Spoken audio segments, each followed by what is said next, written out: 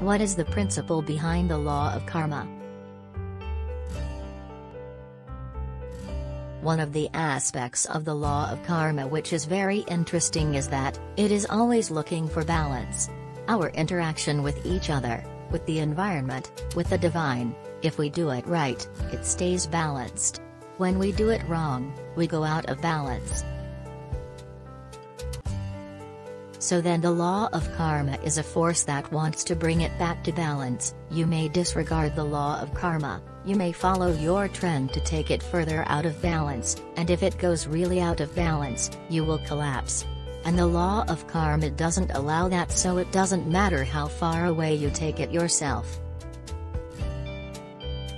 One fine it will come seriously and pull you back into balance, you will not like that.